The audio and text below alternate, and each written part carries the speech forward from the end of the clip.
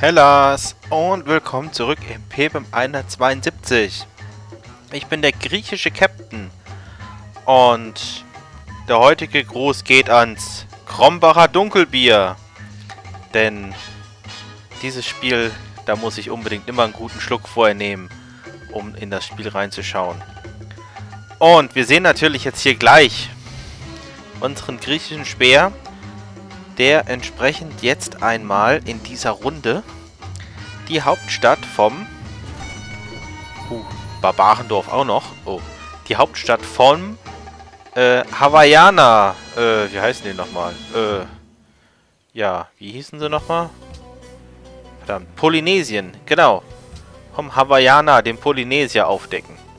Und da hat er auch eine seiner besonderen Einheiten drin, einen Maui-Krieger. Und er hat einen großen General, Guderian, okay. Und wenn wir jetzt mal auf die Diplomatie-Übersicht gucken. Ehre 3, das bedeutet, er hat den General und... Ja, gehen wir auf die Sozialpolitiken. Ehre 3, er hat wahrscheinlich genau die gleichen Sachen ausgewählt wie ich, weshalb er die Einheit, äh, weshalb er äh, hier auch die Einheit in der Stadt stehen hat. Okay, gut. Und wenn wir dann nochmal gucken auf die Kulturübersicht, sollten wir eigentlich auch sehen. Eure Kultur, gut. Und jetzt Griechenland. Nee, nicht Griechenland. Schauen wir mal bei Polen. Griechenland und Polynesien haben ziemlich ähnlich 346 zu 376. Der Hunne hat nur 280, der hinkt ganz schön hinterher. Und äh, wo haben wir jetzt den Polen? Ne, müssen wir was anderes machen. So, und wir haben den Polen, der unheimlich davon zieht mit der Kultur. 420 zu 376. Ja, okay, der, der hat halt unheimlich viele Barbaren scheinbar geschnetzelt. Also, aber egal, wir ziehen hier mit dem weiter. Einmal so. Dann wollen wir mal schauen, dass wir hier so ein bisschen rüberkommen. Also da haben wir auch ein Barbarendorf wieder entdeckt. Gut. Okay, was ist ansonsten hier passiert? Es ist, wenn man hier mal schaut, wir sehen hier eine erste polnische Einheit von The Q, die offensichtlich den weiten Weg von hier hinten bis hier über den Fluss angetreten ist. Und ich muss dazu sagen, die gefällt mir nicht. Schauen wir mal, wo noch, ob da noch was anderes ist. Einmal so und okay, dieser ganze Bereich ist frei. Das heißt, da ist jetzt nichts im Schlepptau. Zumindest nichts, was ich direkt sehe. Aber vielleicht versteckt sich ja noch was hier hinten. Oder so. Also ich vermute ja ganz stark, dass die zusammenarbeiten. Und nachdem ich dann auch dem äh, Polen hier, The Q, ein paar saftige Worte geschrieben habe, nach dem Motto, der Krieger soll zurück. Und, äh, oder ansonsten werde ich ihn nämlich, ähm, ja, vernichten entfernen lassen. Da reagierte er ziemlich pumpig und teilweise beleidigend. Also ich weiß nicht, ob das nur Rollenspiel von ihm war oder ob er wirklich ziemlich sauer irgendwie ist. Oder ob er wirklich meint, in einer Form mit mir zu sprechen, was nicht mehr feierlich ist. Naja, also wir ziehen dann jetzt erst nochmal diesen hier nochmal hier rüber, und um diese Felder hier aufzudecken. Und sehen, da ist auch nichts, okay. Ja, schade, dieses Feld kann ich nicht einsehen. Oder sehe ich es ein? Sehe ich das ein? Nee, sehe ich nicht ein. Das sehe ich nicht. Schade. Aber der steht schon mal so, dass wenn er da irgendwie weiterkommen will, so oder irgendwie vielleicht so oder was, dass ich ihn dann entsprechend angreifen kann. Ähm, ziehen wir jetzt natürlich auch gleich mal hier den Bogenschützen entsprechend vor. So. So, mal wenn ich den Bogenschützen vorziehe, zusammen mit dem General, kann ich hier nämlich auch die Einheiten da gut unterbringen. So, was machen wir hier ansonsten? Den Bautrupp zurück nach Athen. Der soll dann hier mal diese ganze Weinpalette befestigen. Und wir gehen erstmal hier auf diesen Barbaren noch los. Einmal so. Okay, da hat der natürlich ziemlich viel Schaden gekriegt. Und einmal hier den Barbaren noch drauf. Jawohl, damit hat der ziemlich viel Schaden bekommen. Okay. Ja, der ist schon ganz schön angeschlagen, muss man echt sagen. Also, das ist schon übel. Gut. Hm, was machen wir denn noch? Genau, ich habe, glaube ich, gesehen hier auch bei Quebec, dass wir jetzt Tribut fordern können hier wieder. Das ging gerade eben nämlich noch nicht, weil diese Einheit hier, hier unten stand und der heißt jetzt hier rüber und dementsprechend konnte ich Tribut fordern. Schauen wir mal bei Jerusalem.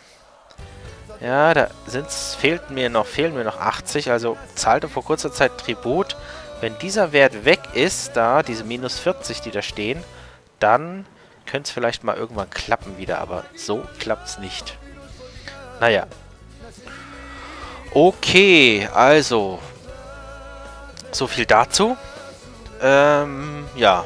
Gut, also machen wir nochmal unsere Verteidigungslinien. Also hier hinten, ich habe ja hier mal geguckt hier drüber, was hier hinten so ist.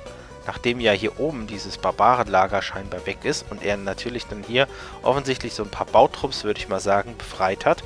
Denn wenn man mal sieht, wie viele Punkte der hat, 198, das klingt mir so wie, ja, also Barbarenlager befreien, gleichzeitig einen Bautrupp befreien.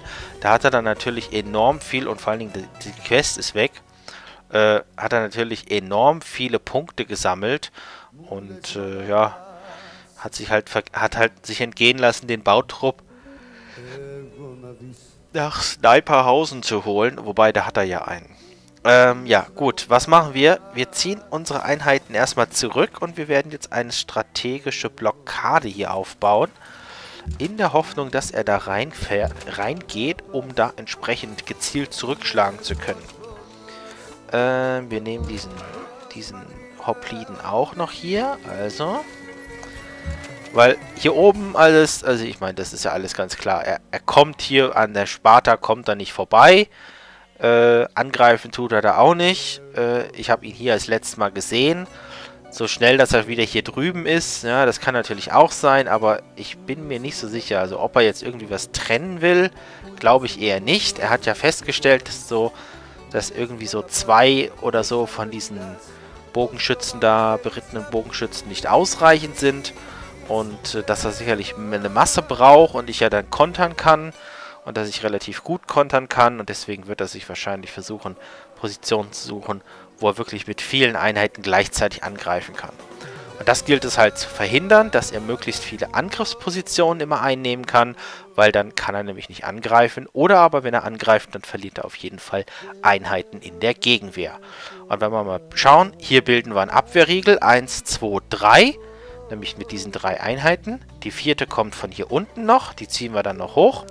Und dann haben wir hier einen Abwehrriegel. Und wenn man mal zählt, wo er angreifen kann, er kann wenn er diese Einheit angreifen will, kann er das mit 1, 2, 3 Einheiten machen nur. Wenn er diese angreifen will, kann er das auch nur mit 1, 2, äh, 3 machen. Wenn er diese Einheit hier angreifen will, dann kann er das mit 1, 2, 3 nur machen. Naja, eigentlich könnte er, wenn er von dort kommt, äh, da oben noch einen hinstellt, können das auch mit 4 machen. Ähm, ja gut, das wäre sicherlich auch machbar. Ähm, gut, dann müsste er aber hier direkt neben die gleich ziehen. Und äh, das wird er garantiert nicht machen. Deswegen lassen wir die hier oben stehen. Damit er weiß, wenn er, damit er hier Schiss hat und da nicht hinziehen tut. Gut. Ansonsten, ähm, ja, Sparta. Sparta ist gewachsen, hat jetzt plus zwei Hämmer. Ich werde aber auf zwei Nahrung wieder gehen, damit in acht Runden Sparta nochmal wächst. Denn jetzt haben wir zwei 8. Und das heißt, wir haben jetzt ähm, bei, wo haben wir Militärübersicht? 8 Bevölkerung durch 2 geteilt, 4 Einheiten pro, von der Bevölkerung, 2 Einheiten von Städten. Das heißt, wenn der noch einmal wächst und wenn der noch einmal wächst, kriege ich nochmal eine Einheit dazu. Und wir haben, wie gesagt, hier, äh, wo haben wir Militärübersicht? Jetzt mit dem Wachstum haben wir jetzt 13 zur Versorgung. Und wenn wir dann mit dem und dem sind, haben wir 14 Versorgung. Und äh, dann muss ich zwischendurch wahrscheinlich mal hier diesen, wenn ich die Ziele erreicht habe, 14 oder was erreicht habe und auf dem Weg zum 15 bin, muss ich hier diesen Speer wahrscheinlich da oben irgendwann mal auflösen. Denn nach dem Hopliden kommt kommende Runde. Die Begleitcups. Ah ja, da fällt mir noch was ein. Ja, die Begleitcups. Und äh, nach den ersten ein oder zwei Begleitcups werde ich nochmal einen Siedler raushauen müssen, weil ich will ja dann doch diese dritte Stadt hier unten bauen. Also, frühe Rushs gibt es jetzt doch nicht mehr. Die habe ich mir jetzt abgeschminkt. Dazu hat er einfach die ganze Zeit zu viel gerüstet hier und diese Stadt hier so hingebricht. Also werde ich ihn jetzt entsprechend zivilisationsmäßig ausbaldowern müssen, indem ich äh, ja quasi dann noch eine dritte Stadt mache, damit dann automatisch wieder noch mehr Einheiten kriegen kann und damit dann aus einer Truppe von vielen Nahkämpfern und auch noch vielen Reiterchen dann quasi äh, und natürlich aus zwei Composite-Bogenschützen, die ja auch noch kommen werden, weil nachdem kommt Steinmetz Kunst und Bauwesen, dann eine entsprechend starke Armee habe, die gut gerüstet ist aus Fernkämpfern, jede Menge Nahkämpfern und einer entsprechenden Reiterei. Jo, das ist der schöne Masterplan. Jetzt gucken wir gerade nochmal ähm, auf das, was hier passiert ist. Q Aladdin 120 Punkte. Bei dem muss ein Wachstum, glaube ich, gewesen sein. Und einmal auf die Demografie gucken und wir stellen fest, wir sind überall quasi Erster und ich könnte mir wahrscheinlich aussuchen hier, ob ich bei der Produktion Erster sein will, indem ich dort die Nahrung auf Produktion umstelle. Ähm, oder ob ich bei dem bei der Nahrung Erster sein will. Und ich habe mir gesagt, ich bin bei der Nahrung Erster. Und in zwei Runden habe ich hier den Wachstum.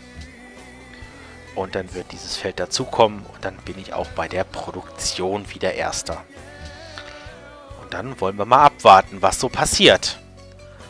Ja, und das Western. Und äh, ja, dann sage ich mal... Achso, nee, noch nicht, sage ich mal. Jetzt kommt erst noch die Sache. Ich will ja auch noch hier mal meine Pferde verstecken. Und zwar vor der Reiterei. Damit er vielleicht denkt, die wurden geplündert oder irgendwie sowas. Auf jeden Fall kann es ihn stutzig machen, wenn plötzlich alle meine Pferde weg sind und ich die Reiterei noch nicht habe. Vielleicht denkt er ja dann, die Reiterei kommt noch nicht sofort. Mal gucken. Vielleicht hat er ja dann Interesse daran, doch ein bisschen früher anzugreifen, sodass er in den Konter laufen kann. Also, das war's und wir sehen uns in Runde 44.